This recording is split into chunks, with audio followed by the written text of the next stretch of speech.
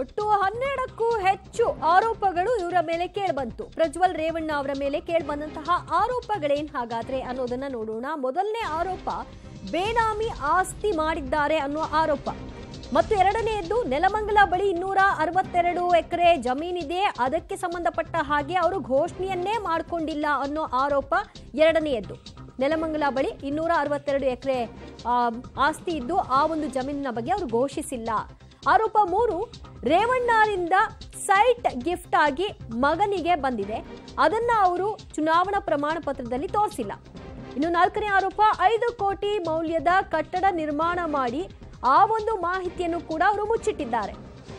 ಇದು ಐದನೇ ಆರೋಪ, ಖಾತೆಯಲ್ಲಿ ಆದಾಯ ತೆರಿಗೆ ಮಾಹಿತಿಯನ್ನ ಅವರು ಕೊಡದೇ ಇರುವಂತಹ ವಿಚಾರಕ್ಕೆ ಸಂಬಂಧಪಟ್ಟ ಹಾಗೆ ಆದಂತಹ ದೂರು. ಆರು, ರೇವಣ್ಣರಿಂದ ಅಕ್ರಮ ಮತದಾನ ಮಾಡಿಸಿರುವಂತಹ ಆರೋಪ ಈ ಹಿನ್ನೆಲೆಯಲ್ಲಿ ರೇವಣ್ಣ ಅವರಿಗೂ ಕೂಡ ಸಂಕಷ್ಟ ಕಾದಿದೆ. ಅವರಿಗೂ ಕೂಡ ನೋಟಿಸ್ ಅನ್ನ ಕೊಡಲಾಗಿದೆ. ಅಕ್ರಮವಾಗಿ ಮತದಾನ ಮಾಡಿಸಿದಂತಹ ಆರೋಪಕ್ಕೆ ಸಂಬಂಧಪಟ್ಟ ಹಾಗೆ. ಒಟ್ಟು ಈಗ ಸದ್ಯಕ್ಕೆ ಅವರ ವಿರುದ್ಧ ಕೇಳಿಬಂತಹ ಆರೋಪಗಳು ಅದನ್ನು ಸಾಬೀತು ಮಾಡುವಲ್ಲಿ ಯಶಸ್ವಿಯಾದ ನಂತರದಲ್ಲಿ ಈ ಒಂದು ತೀರ್ಪು ಪ್ರಕಟವಾಗಿದ್ದು ಅನರ್ಹಗೊಂಡಿದ್ದಾರೆ. ರೇವಣ್ಣ ಅವರನ್ನ ಅನರ್ಹಗೊಳಿಸಿ ಈಗ ಹೈಕೋರ್ಟ್ ಆದೇಶವನ್ನು ಮಾಡಿರುವಂಥ ಈಗ ನಮ್ಮ ಜೊತೆಯಲ್ಲಿ ದೂರದಾರರಾದಂಥ ವಕೀಲ ದೇವರಾಜಗೌಡ ಅವರು ನಮ್ಮ ಜೊತೆ ಇದ್ದಾರೆ ಅವರನ್ನ ಕೇಳೋಣ ಸರ್. ಏಕೆಂದರೆ ಸಾಕಷ್ಟು ನಿರಂತರವಾಗಿ ಹೋರಾಟವನ್ನು ಮಾಡಿದ್ರಿ. ಹೋರಾಟದಲ್ಲಿ ಇವತ್ತು ಜಯ ಸಿಕ್ಕಿದೆ. ನಿಮ್ಮ ಮುಖದಲ್ಲೇ, ಆ, ಸಂತೋಷ ಕೂಡ ಕಾಣ್ತಾ ಇದೆ. ಏನು ಹೇಳ್ತೀರಾ ಸರ್ ಈ- ಗೆಲುವಿನ ಬಗ್ಗೆ? ಸರ್, ಇದರಲ್ಲಿ ನಾನು ವಿಶೇಷವಾಗಿ ನಾನು ನನ್ನ ಪೂಜ್ಯರು ಮತ್ತು ನನ್ನ ತಾಯಿ ಸಮಾನರಾದಂಥ ಪ್ರಮೀಳ ನೇಸರ್ಗಿಯವರಿಗೆ ನಾನು ಹೃದಯಪೂರ್ವಕ ಧನ್ಯವಾದನ ಅರ್ಪಿಸ್ತೀನಿ ನಾನಲ್ಲಿ. ಯಾಕೆಂದರೆ ಎಲ್ಲರಲ್ಲೂ ಕೂಡ ಮಾರಕ ಮಾರಲ್ಲಾಗಿ ಎಲ್ಲ ರೀತಿಯಲ್ಲಿ ಧೈರ್ಯವನ್ನು ತುಂಬಿ ನಮ್ಮ ನಮ್ಮ ಸೀನಿಯರು ಪ್ರಮೀಳಾ ನಿಸರ್ಗಿಯವರು ಹೋರಾಟ ಮಾಡಿದ್ರಲ್ಲಿ ನಾನು ಹಲವಾರು ಬಾರಿ ನನಗೆ ನೋವಾಯ್ತು ನನಗೆ ಅಲ್ಲಿ. ಕೆಲವು ಥ್ರೆಟ್ಗಳು ಬಂದು ಬೇರೆ ಬೇರೆ ಥರ ಪ್ರಾಬ್ಲಮ್ಸ್ ಎಲ್ಲ ಸ್ಟಾರ್ಟ್ ಆಯ್ತು ಅಲ್ಲಿ. ಆಗ ಒಂದು ಮಾತು ಹೇಳಿದಲ್ಲಿ ನೀನೊಬ್ಬ ವಕೀಲರಾಗಿ ನೀನು ಎದರಬಾರ್ದು ನೀನಲ್ಲಿ ನೀನು ಹೋರಾಟ ಮಾಡಬೇಕಲ್ಲಿ. ಸತ್ಯಕ್ಕೆ ಒಂದು ದಿವಸ ಜಾಗ ಸಿಗ್ತದೆ ನಿಮಗೆ ಅಲ್ಲಿ. ಒಟ್ಟು ನ್ಯಾಯಾಲಯದ ಮೇಲೆ, ನ್ಯಾಯದ ಮೇಲೆ ನಂಬಿಕೆ ನೀಡುವಂತ ಅಂತೇಳಿ ನಮ್ಮ ಸೀನಿಯರು ಪ್ರಮೀಳಾ ನೇಸರ್ಗೆ ಹೇಳಿದರು. ಆ ನಂಬಿಕೆ ಮೇಲೆ ಹೋರಾಟ ಮಾಡ್- ಮಾಡ್ತಾ ಬಂದಿನ ಅಲ್ಲಿ. ಇವತ್ತು ಒಬ್ಬ ಬಡ ವಕೀಲನಿಗೆ ನಿಜವಾದಂಥ ಒಂದು ನ್ಯಾಯ ಸಿಕ್ಕಿದೆ ಅಂತ ನಾನು ಹೇಳ್ಬೋದು ಸರ್ ನಾನು. ಪ್ರಮುಖವಾಗಿ ಇವತ್ತಿನ ಆದೇಶದಲ್ಲಿ ಏನಿತ್ತು? ಯಾಕಂದ್ರೆ ಕ್ರಿಸ್ಪಿಯಾಗಿ ಹೇಳೋದಾದ್ರೆ ಪ್ರಜ್ವಲ್ ರೇವಣ್ಣ ಅವ್ರಿಗೆ ಈ ಆದೇಶದಿಂದ ಏನು ಹಿನ್ನಡೆ ಆಗ್ತಾ ಇದೆ ಜೊತೆಗೆ ಅನರ್ಹ ಆಗಿರ್ಬ ಆಗಿರುವಂಥದ್ದು ಇದೆಲ್ಲ ಯಾವ ರೀತಿ ಇದೆ? ಇವತ್ತಿನ ಜಡ್ಜ್ಮೆಂಟನ್ನು ಹೇಳೋದಾದ್ರೆ. ಸರ್ ನಾವು ನೇರವಾಗಿ ಅವನು ಕರಪ್ಟ್ ಪ್ರಾಕ್ಟೀಸಲ್ಲಿ ಇನ್ವಾಲ್ ಆಗಿದ್ದಾನೆ ಅಲ್ಲಿ. ಅವನನ್ನು ಅನರ್ಹಗೊಳಿಸಿ ಆರು ವರ್ಷಗಳ ಕಾಲ ಚುನಾವಣೆಯಿಂದ ಹೊರಗಿಡಬೇಕು ಅಂತ ನಾವು ನಮ್ಮ ಪ್ರೇಯರಲ್ಲಿತ್ತು ಅಲ್ಲಿ. ಅದೇ ರೀತಿಯಲ್ಲಿ ಅವನ್ನ ಈಗ ಅನರ್ಹಗೊಳಿಸಿ, ಏನು ಸಂಸದ ಸ್ಥಾನದಲ್ಲಿದ್ದಾನೆ ಅಲ್ಲಿ, ಈ ಗಳಿಗೆಯಿಂದಲೇ ಅವನು ಅನರ್ಹರಾಗ್ತಾನೆ ಅಲ್ಲಿ. ಅನರ್ಹಗೊಳಿಸಿ ಅಲ್ಲಿ ಆತ ಇನ್ನು ಆರು ವರ್ಷಗಳ ಕಾಲ ಚುನಾವಣೆ ನಿಲ್ಲೋಕ್ಕೆ ಕಾನೂನಲ್ಲಿ ಅವಕಾಶ ಇಲ್ಲ. ಆ ಒಂದು ತೀರ್ಪು ಕೊಟ್ಟಿದೆ ಅಲ್ಲಿ. ಯಾಕಂದ್ರೆ ಈ ಟರ್ಮ್ ಮಾತ್ರ. ಈಗ ನಾನು ಇನ್ನೊಂದು ಕೆಲವೇ ಒಂದೇ ವರ್ಷ ಮಾತ್ರ ಬಾಕಿ ಇರೋದು ಈಗ ಅಂದ್ರೆ ಎರಡ್ ಸಾವಿರದ ಹತ್ತೊಂಬತ್ತರ ಸ್ಪರ್ಧೆ ಮಾಡಿದ್ರು ಗೆದ್ದಿದ್ರು ಏ ಒಂದು ವರ್ಷ ಮಾತ್ರ ಬಾಕಿ ಇದೆ ಈ ಟರ್ಮ್ನಲ್ಲಿ. ಅಂದ್ರೆ ಈ ಟರ್ಮನ್ನು ಸೇರಿಸ್ಕೊಂಡು ಇನ್ನು ಆರು ವರ್ಷ ಯಾವುದೇ ರೀತಿ ಕಂಟೆಸ್ಟ್ ಮಾಡೋಗಿಲ್ಲ. ಸರ್ ತೀರ್ಪು ಇವತ್ತು ಬಂದಿದೆ ಅಲ್ಲಿ.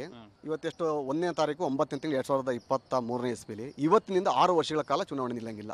ಯಾವುದೇ ರೀತಿಯ ಚುನಾವಣೆಗೂ ಸ್ಪರ್ಧೆ ಮಾಡಿ ಗ್ರಾಮ ಪಂಚಾಯತ್ ಚುನಾವಣೆ ನಿಲ್ಲಕ್ಕೂ ಕಾನೂನಲ್ಲಿ ಅವಕಾಶ ಇಲ್ಲ. ಆರ್ ಪಿ ಆಕ್ಟ್ ಅಷ್ಟು ಬಲಿಷ್ಠವಾಗಿದೆ. ಬಹಳ ಸ್ಟ್ರಾಂಗ್ ಆಗಿದೆ ಆರ್ ಪಿ ಆಕ್ಟ್.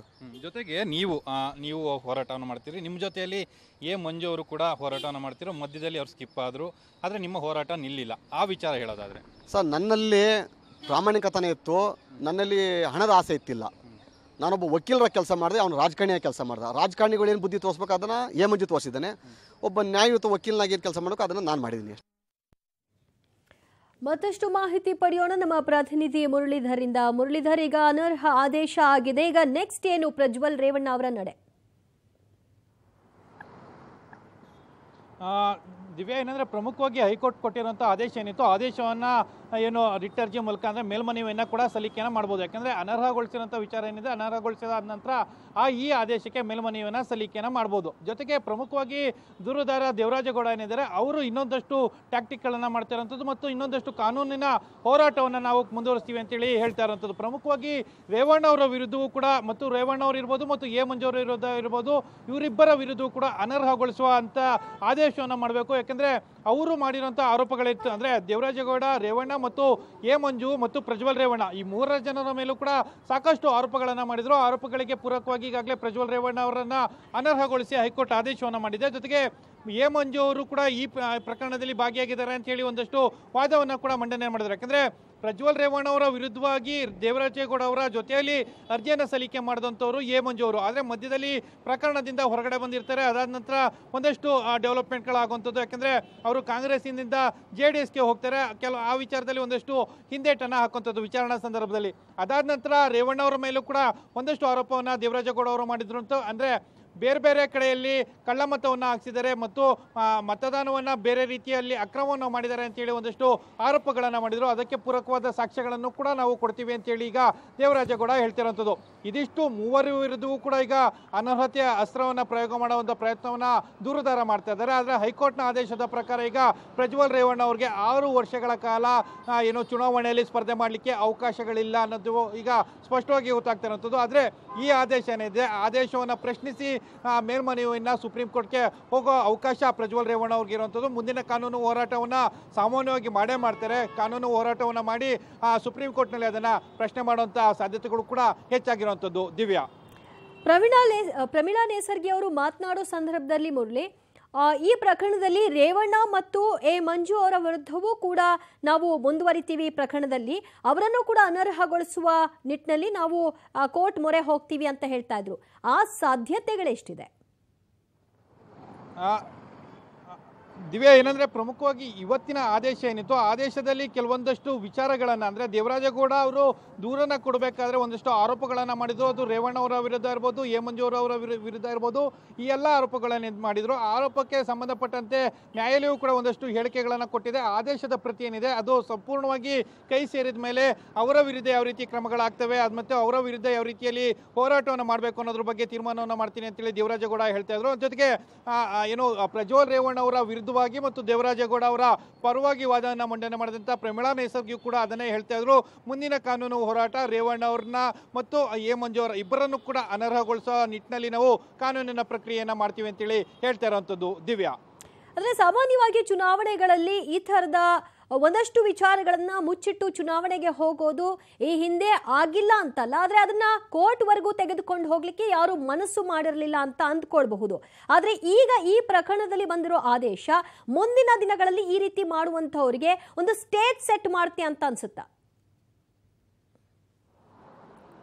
ಖಂಡಿತ ಖಂಡಿತ ದಿವ್ಯ. ಯಾಕೆಂದ್ರೆ ಪ್ರಮುಖವಾಗಿ ಈ ರೀತಿಯಲ್ಲಿ ಅಕ್ರಮವನ್ನ ಮಾಡುವಂಥದ್ದು ಇರಬಹುದು ಜೊತೆಗೆ ಪ್ರಮಾಣ ಪತ್ರ ಸಲ್ಲಿಕೆಯನ್ನು ಮಾಡಬೇಕಾದ್ರೆ ಅವರ ಆಸ್ತಿಯನ್ನು ಮುಚ್ಚಿಡುವಂಥ ಪ್ರಯತ್ನ ಮತ್ತು ಅವರ ಇನ್ಕಮ್ನ ಬಗ್ಗೆ ಕೂಡ ಮುಚ್ಚಿಡುವಂಥ ಪ್ರಯತ್ನಗಳನ್ನು ಮಾಡಿದ್ರೆ ಮುಂದಿನ ದಿನಮಾನಗಳಲ್ಲಿ ಇದೊಂದು ಸೆಟ್ ಆದಂತೆ, ಅದರ ಆದೇಶ ಏನಿದೆ, ಇದು ಒಂದು ಬೆಂಚ್ ಮಾರ್ಕ್ ಆದೇಶ ಅಂತ ಹೇಳಿ ಹೇಳ್ಬೋದು. ಅದನ್ನು ಮುಂದೆ ಮುಂದೆ ಇಟ್ಕೊಂಡು ತ- ಏನು ಕಾನೂನು ಹೋರಾಟ ಮಾಡುವಂಥವ್ರು ಕಾನೂನು ಹೋರಾಟನ ಮಾಡ್ತಾರೆ. ಆದ್ರೆ ದಿವ್ಯಾ ಇಲ್ಲಿ ಪ್ರಮುಖವಾಗಿ ಗಮನಿಸಬೇಕಾದಂಥದ್ದು ದೇವರಾಜೇಗೌಡ ಆರೋಪ ಮಾಡಿದ್ದಕ್ಕೆ ಪೂರಕ ಸಾಕ್ಷ್ಯಾಧಾರಗಳನ್ನು. ಅಂದರೆ ಪಬ್ಲಿಕ್ ಟಿವಿ ಜೊತೆಯಲ್ಲಿ ಮಾತನಾಡುವ ಸಂದರ್ಭದಲ್ಲಿ ದೇವರಾಜೇಗೌಡ ಹೇಳ್ತಿದ್ರು ನನಗೆ ಪ್ರತಿಯೊಂದು ನಾನು ಮಾಡಿದಂಥ ಆರೋಪಗಳೇನಿತ್ತು ಆರೋಪಗಳಿಗೆ ಪೂರಕವಾದ ಸಾಕ್ಷಿಗಳನ್ನು ಕೊಟ್ಟಿದ್ದೀನಿ. ನೆಲಮಂಗಲದ ಬಳಿ ಒಂದಷ್ಟು ಜಮೀನನ್ನು ಖರೀದಿ ಮಾಡಿದರು. ಜಮೀನನ್ನು ಖರೀದಿ ಮಾಡಬೇಕಾದ್ರೆ ಅದನ್ನು ಪ್ರಮಾಣ ಪತ್ರದಲ್ಲಿ ಸಲ್ಲಿಕೆಯನ್ನು ಮಾಡಿರಲಿಲ್ಲ. ಯಾಕೆಂದರೆ ಹತ್ತೊಂಬತ್ತು ವರ್ಷದ ಯುವಕನಿಗೆ ಕೋಟ್ಯಾಂತರ ರೂಪಾಯಿ ಮೌಲ್ಯದ ಆಸ್ತಿ ಬಂದಿತ್ತು. ಅದರ ಮೂಲ ಯಾವುದು ಅನ್ನೋದ್ರ ಬಗ್ಗೆ ಸ್ಪಷ್ಟನೆಯನ್ನು ಪ್ರಜ್ವಲ್ ರೇವಣ್ಣ ಅವರು ಕೊಡಲಿಲ್ಲ. ಬೇನಾಮೆ ಆಸ್ತಿಯನ್ನು ಕೂಡ ಅವರು ಇಟ್ಕೊಂಡಿದ್ರು. ಯಾಕೆಂದ್ರೆ ಬೇನಾಮಿ ತನಿಖೆ ಏನಿದೆ, ಬೇನಾಮಿ ಆಕ್ಟ್ನ ತನಿಖೆ ಇನ್ಕಮ್ ಟ್ಯಾಕ್ಸ್ ಅವರು ಮಾಡುವಂಥದ್ದು, ಆ ತನಿಖೆನ ಅವರು ಮಾಡ್ತಾ ಇದ್ದಾರೆ ಜೊತೆಗೆ ಪ್ರಮುಖವಾಗಿ ಚೆನ್ನಮ್ಮ ಒಂದು ಏನು ಒಂದು ಹಳ್ಳಿ ಏನಿದೆ, ಆ ಹಳ್ಳಿಯಲ್ಲಿ ಚೆನ್ನಮ್ಮ ಅವರು ಮತ್ತು ರೇವಣ್ಣ ಅವರ ಹೆಸರಿನಲ್ಲಿ ಒಂದು ಜಮೀನನ್ನು ಅವ್ರಿಗೆ ಗಿಫ್ಟನ್ನು ಕೊಟ್ಟಿದ್ದಾರೆ ಅಂತೇಳಿ ಒಂದು ಹೇಳಿಕೆಯನ್ನು ಪ್ರಜ್ವಲ್ ರೇವಣ್ಣ ಕೊಡ್ತಾರೆ. ಆದರೆ ಅದರಲ್ಲಿ ನಿರ್ಮಾಣವಾಗಿರುವಂಥ ಕಟ್ಟಡ ಏನಿದೆ, ಆ ಕಟ್ಟಡಕ್ಕೆ ಯಾವುದೇ ರೀತಿಯ ಪೂರಕವಾದ ದಾಖಲೆಗಳನ್ನ ಪ್ರಜ್ವಲ್ ರೇವಣ್ಣ ಕೊಡಲಿಕ್ಕೆ ಸಾಧ್ಯ ಆಗಿಲ್ಲ. ಜೊತೆಗೆ ಐದು ಆರು ಕೋಟಿ ಮೌಲ್ಯದಲ್ಲಿ ಕಟ್ಟಡವನ್ನ ನಿರ್ಮಾಣ ಮಾಡಿರುವಂಥದ್ದು, ಅದಕ್ಕೆ ಬರ್ತಾ ಇರೋ ಆದಾಯವನ್ನ ಪ್ರಮಾಣ ಪತ್ರ, ಪತ್ರದಲ್ಲಿ ಸಲ್ಲಿಕೆ ಮಾಡುವಂಥ ಪ್ರಯತ್ನವನ್ನು ಮಾಡಿಲ್ಲ. ಅದನ್ನು ಕೂಡ ಮುಚ್ಚಿಟ್ಟಿದ್ದಾರೆ. ಜೊತೆಗೆ ಅವರ ಅಕೌಂಟ್ನಲ್ಲಿರುವಂಥ ಒಂದಷ್ಟು ನಗದು ವಿಚಾರವನ್ನು ಕೂಡ ಅವರು ಡಿಸ್ಕ್ಲೋಸನ್ನು ಮಾಡಿಲ್ಲ. ಅದನ್ನು ಮುಚ್ಚಿಟ್ಟಿದ್ದಾರೆ. ಜೊತೆಗೆ ಬೇರೆ ಬೇರೆ ಪ್ರಾಪರ್ಟಿಗಳೇನಿತ್ತು, ಆದಾಯದ ಮೂಲಗಳೇನಿತ್ತು, ಅದೆಲ್ಲಾನು ಕೂಡ ಮುಚ್ಚಿಡುವಂಥ ಪ್ರಯತ್ನವನ್ನ ಮಾಡ್ತಾ ಇದ್ದಾರೆ. ಜೊತೆಗೆ ದೇವರಾಜೇಗೌಡ ಒಂದು ಆರೋಪ ಮಾಡ್ತಾರೆ ದಿವ್ಯಾ, ನೆಲಮಂಗಲದ ಬಳಿ ಇರುವಂಥ ಒಂದು ಪ್ರಾಪರ್ಟಿ ಏನಿದೆ ಅದು ಪ್ರಜ್ವಲ್ ರೇವಣ್ಣ ಅವರ ಹೆಸರಿನಲ್ಲೇ ಇರುವಂಥದ್ದು. ಅದು ಸರಿಸುಮಾರು ಇನ್ನೂರು, ಇನ್ನೂರೈವತ್ತು ಕೋಟಿ ಮೌಲ್ಯದ ಆಸ್ತಿ ಇದು. ಅದನ್ನು ಮುಚ್ಚಿಡುವಂಥ ಪ್ರಯತ್ನ ಮಾಡಿದ್ದಾರೆ ಅಂತ ಹೇಳಿದ್ರೆ ಅಲ್ಲಿ ಗೊತ್ತಾಗುತ್ತೆ ಇದು ಬೇನಾಮಿಯ ಆಸ್ತಿ ಅಂತೇಳಿ. ಅದಕ್ಕೆ ಈ ರೀತಿಯ ಸಾಕ್ಷ್ಯಾಧಾರಗಳೇನಿತ್ತು ಆ ಸಾಕ್ಷ್ಯಾಧಾರಗಳನ್ನು ನ್ಯಾಯಾಲಯದ ಮುಂದೆ ಒದಗಿಸಿದ್ದೀವಿ ಜೊತೆಗೆ ಇನ್ಕಮ್ ಟ್ಯಾಕ್ಸ್ ವಿಚಾರಗಳೇನಿತ್ತು ಅದನ್ನು ಕೂಡ ನ್ಯಾಯಾಲಯದ ಮುಂದೆ ಒದಗಿಸಿದ್ದೀವಿ ಜೊತೆಗೆ ಬೇರೆ ಬೇರೆ ಒಂದು ಕಲ್ಯಾಣ ಮಂಟಪ ಏನಿತ್ತು ಅದಕ್ಕೆ ಸಂಬಂಧಪಟ್ಟಂಥ ವಿಚಾರ ಏನಿತ್ತು ಅದನ್ನು ಕೂಡ ನ್ಯಾಯಾಲಯಕ್ಕೆ ಒದಗಿಸಿದ್ದೀವಿ ಜೊತೆಗೆ ಅವರ ಅಕೌಂಟ್ನಲ್ಲಿದ್ದಂಥ ಬೇ ಏನೋ ಹಣ ಏನಿತ್ತು, ಹಣದ ಮಾಹಿತಿಯನ್ನು ಕೂಡ ಹಾಕಿದ್ರೆ ಒಬ್ಬ ಅಭ್ಯರ್ಥಿ ಚುನಾವಣೆಗೆ ಸ್ಪರ್ಧೆಯನ್ನ ಮಾಡ್ತಾ ಇದ್ರೆ. ಆತನ ಹೆಸರಲ್ಲಿ ಇರುವಂತದ್ದು ಜೊತೆಗೆ ಆತನಿಗೆ ಉಡುಗೊರೆಯಾಗಿ. ಬರುವಂತದ್ದು ಆತ ಸಾಲ ಮಾಡಿರುವಂತದ್ದು ಜೊತೆಗೆ ಆತನ ವಿರುದ್ಧ ಇರುವಂತಹ ಕ್ರಿಮಿನಲ್ ಪ್ರಕರಣಗಳು ಇವೆಲ್ಲಾನು ಕೂಡ ಪ್ರಮಾಣ ಪತ್ರದಲ್ಲಿ ಸಲ್ಲಿಕೆಯನ್ನ ಮಾಡಬೇಕು ಆದ್ರೆ ಪ್ರಜ್ವಲ್ ರೇವಣ್ಣ ಆ ರೀತಿಯ ಕಾನೂನನ್ನ ಸರಿಯಾಗಿ ಪಾಲನೆ ಮಾಡಿಲ್ಲ ಮತ್ತೆ ಒಂದಷ್ಟು ಮಾಹಿತಿಗಳನ್ನ ಸಂಪೂರ್ಣವಾಗಿ ಮುಚ್ಚಿಡುವಂತ ಪ್ರಯತ್ನ ಮಾಡಿದ್ರೆ ಅವ್ರು ಯಾವ್ಯಾವ ಮಾಹಿತಿಯನ್ನ ಮುಚ್ಚಿಟ್ಟಿರೋ ಆ ಮಾಹಿತಿ ಮಾಹಿತಿಗೆ